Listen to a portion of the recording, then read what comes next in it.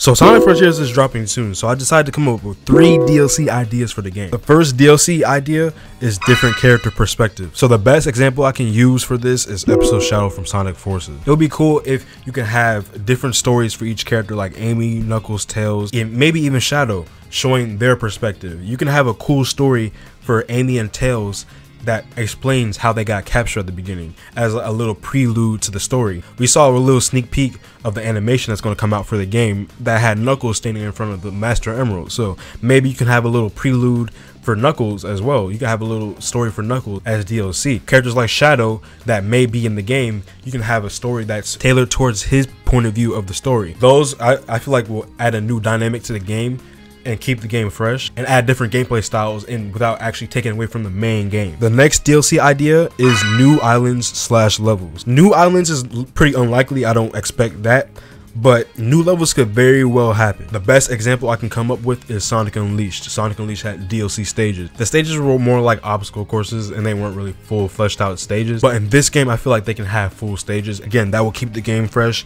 But again, overall, I don't think this will happen. This is pretty unlikely. I feel like making a whole new island would just be too much work unless you're including that with a whole expansion for the game. And the third DLC idea is new additions to the skill tree. So this one is pretty much up in the air. I hope the skill tree in the main game at launch is complete. It feels full. And if it does feel complete, adding on new moves and more moves will feel better and expand upon what is already there. Now I say all these ideas not knowing if there will be DLC or not. We don't know how the story is going to be. We don't even know if DLC is going to be suitable really for the game. But if DLC does happen, I wouldn't be against my ideas being compiled into one full DLC expansion pass. Having expansion passes opens up a lot of new ideas.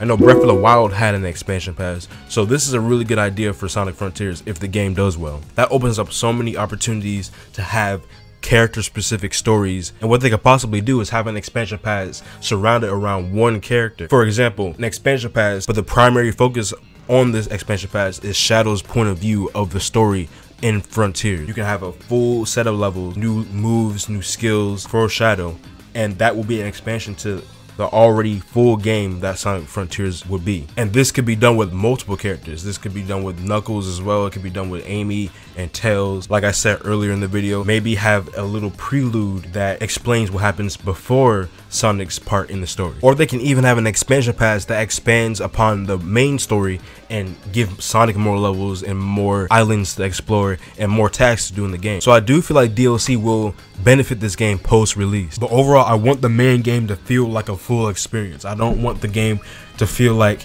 it needs stuff to be patched up. If this game does have DLC, please don't let it be a patch to the the main game. I want the main game to feel full. I, I want it to be filled with content. I don't want it to feel like it needs more. I want the main game to be full and then DLC is added to the game to expand on the experience and add to it instead of patching it. But this is really just an idea. I don't I don't really expect there to be DLC at all. For more Sonic Frontiers content, click on one of these videos.